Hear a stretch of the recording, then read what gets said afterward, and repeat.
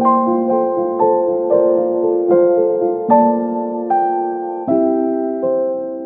que cualquier cosa de aquí no las ha probado. No, por eso. De todo, todas estas de aquí no ha probado ninguna.